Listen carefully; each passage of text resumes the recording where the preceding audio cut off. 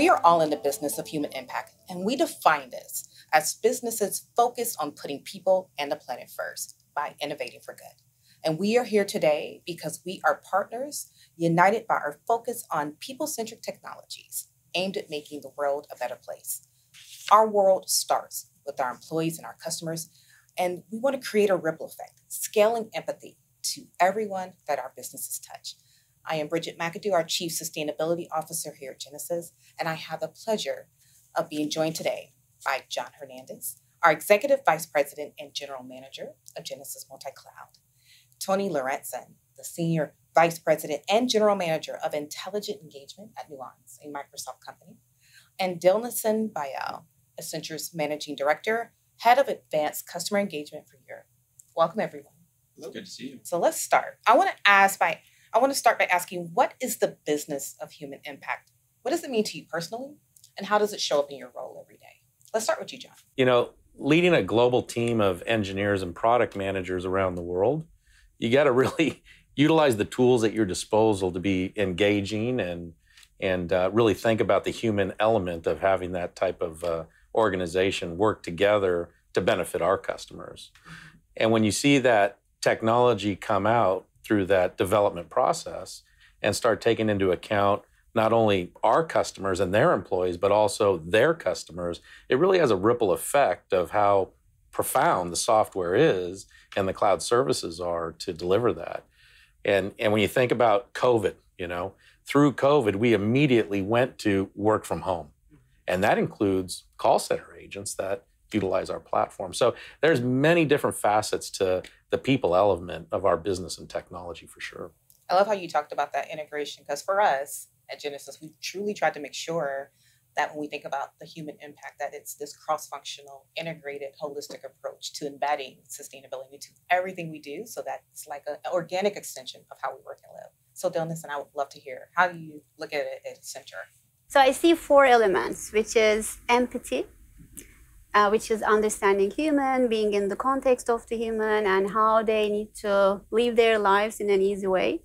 The other is enablement, which is how you're really making things um, easier for them, help them, and solve for good. And also the engagement, which is more like how they're engaging with their lives, how they're engaging with others, how they're using technology. And the fourth one is ESG consciousness, because more and more, I think we are all aware of that unless we care about our planet, it's not going to work out in the long term. So both for the clients and for the employees, but also overall planet, how we are really making it like 360. And it's kind of the, in a way, the virtuosity of bringing data, bringing technology, making it meaningful and valuable for all the different uh, parts of the world. My role at Nuance, uh, Microsoft, is you know how do we leverage AI, and how do we leverage AI to improve not only the agents, uh, as John was talking about, making their lives easier because you know businesses are made out of people and humans, uh, but also make consumers' lives easier, right? So how do we automate things? How do we create customer experiences that they want to go back and do, and not dread doing? Uh, and that's the role that, that I have in really making it more powerful and easier for consumers to interface with brands you know, be able to get the information that they're looking for when they need it, transactions, simple questions, um, just to make that like you know their lives that much easier. Absolutely. I mean, we've all made goals and commitments across our businesses to address things like climate change or equity, because we know that shifts society. But it requires commitment and true commitment to be successful, and because we know that alone we can only do but so much. But together, collectively, we can do a lot. So let's discuss why we all think it's necessary to raise our collective standards when it comes to people and planet. So let's start with you, Tony. Well, first of all, not every company can do everything, right? So right. partnerships and the partnerships that we have with not only Genesys but also Accenture is just critically important, right? Because we all bring different skills and different you know points of view to to the uh, place. So and when we think about people, um, you know, John mentioned before about the, the whole, you know, COVID and when COVID hit, you know, when COVID hit, um, you think about what happened to organizations. Organizations had to take their, their operations and make them remote. They had retail um, store clerks who actually became agents. So you know the what we provided to help those people become and do their jobs in that new world right so that is just one example who knows what's going to happen in the future so we as partners need to be able to adapt and you know be able to use our technologies in ways we probably didn't envision before that's really the power of partnerships so as Accenture, we define our role as delivering on the promise of technology and human ingenuity. And together with that, we have the 360 value meters, which we try to make sure we care about not only the financial, not only the experience, but everything all together every time we work. And it's the, it's I think only doable if we are all partners and we elevate the speech because it's not only financial, it's the experience, it's the inclusion and diversity. It's to growth and innovation. It's to talent and culture and sustainability. So every time i think we come together and deliver things for our clients it's all these elements needs to sit together and we need to be attentive and aware of the impact we are creating for for all the 360 yes. So speaking of this whole connective tissue of partnership and empathy I would love to have, dig a little bit deeper about how partnerships like you know the one that we Genesys and Microsoft and Nuance have, how does that how does that help our customers and our businesses? I would love to hear your both of your perspectives on the connectivity of those partnerships and the impact it has on our businesses and our customers. Well, well, for for you know Microsoft and Genesys, it's all about business outcomes, right? Mm-hmm. So it's really um, is understanding customers what their needs are, the brands that we're supporting, and depending on the outcome, we, we we both have different you know technologies that we bring to the table, and it's it's the that's the power of the partnership, which is we can go to a customer, understand their business, what their need for their business outcomes are, and then leverage the the power of both Microsoft and Genesys to be able to do that. So. Yeah, when you when you think about the the journey orchestration for consumers and business customers alike, you know, there's multiple technologies that come together to facilitate that.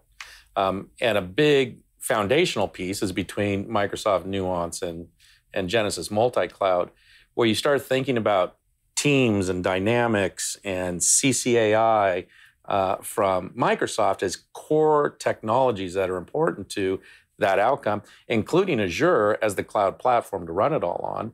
And then the skills based routing, orchestration of digital and proactive engagement and, and tying in all the reporting and data that goes into that from Genesys multi-cloud, that really creates the foundation of it. Now, there's other ancillary applications, and Accenture playing a big role in that of the consulting services to really help a customer on their individual journey of what technology do they have today, what needs to be augmented, how do you integrate into those things, and then bringing in the Microsoft and, and Genesys portfolio integrated from the get-go is going to streamline the adoption of that new transformative technology the more we are able to make these partnerships and collaborations, the, the easier for our customers to configure the big picture. Because otherwise, when there is the need, we are trying to come together. But it needs to be really pre-agreed what's the best kind of components, how we can adapt to different starting points, because everybody have been doing a lot of investments.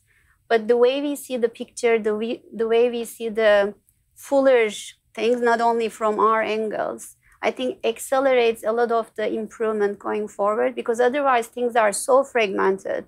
There's a lot of complexity on managing it. And even though they're willing to deliver the best, it's getting so much cost, effort, and energy, and it's never getting to the full. I think the partnerships like this, making sure we are kind of coming together, agreeing on what's the best, and configuring it based on the case of the client helps also acceleration of their results. You know, we're all coming to the table, and as you talked about, like for the for the customer, bringing it all together, right? Yeah. So we all come from different points of view, all bringing our different technologies, and yeah. all coming from different you know set of experiences. So, and then from from a customer point and customer point of view, that's just immensely powerful. Because otherwise, they try to get the best of breed, or they uh-huh. try to do different things in different phases. Mm-hmm. But now we are able to help also. What's the right way to do it. So I want to end it with uh, the way we began, with a personal, professional types of question. So what do what does success look like when we're talking about the business of human impact, and how will each of you individually, personally contribute to it? So I'll start with um, you know one of the things I always say is you know my role in you know with Microsoft Nuance is how do I leverage AI and make customer experience something people love to do, customer service something people love to do, right? That is just my mission, what we're, out to do. How do we leverage AI? How do we leverage everything we talked about here about empathy and prediction, right? Not make customer service something that someone dreads to do, right? Just completely opposite. And how do we just use our, all of our technologies, our biometrics to you know, seamlessly authenticate somebody, or conversational AI to automate tasks, or predictive capabilities to, you know, even call out or message to somebody so that they don't forget to do something. So doing all of those things and just making customer service something someone loves to do. For me, it's the going back to our purpose in terms of bringing technology and human ingenuity together and making the kind of connecting the dots for creating a better world for the future and for it, it can be our customers, it can be our customers' customers, their employees, for everyone. But really bringing together the different pieces, making all the kind of dreams, professional dreams, come true and enabling those. Yeah, I, I think of it of, of a few places. One is our customers um, and their employees, because that's going to facilitate their growth and service of their customer. And so it's how do we think about them first as the anchor, if you will, of everything that we do, because that's what we wake up every morning as engineers thinking about how can we make that better. And then and then the second is is our partners, like folks here, of like how do we interact with each other? And I'm I'm I'm not kidding you when I say it's exhilarating to get on the whiteboard and just dream about things, do hackathons together, and think about the world in the future and, and test some things with customers and what they what they see in that. And then the final thing is right back to our employees in the company and, you know, sharing with them how customers are using the technology, giving them purpose around the things they're developing and the hard work that they're underway of the coding and testing and delivery of these cloud services. So it's a fun market to be in, and it's great to see the advancements that we're pulling together as partners here. Well, I'm extremely appreciative. Our, our theme this year for our sustainability report is join us on the journey, and all of you have joined me today to talk about this business of human impact. Thank you all again, and thank you for coming. Thank you. Fantastic. Thank, thank you. you.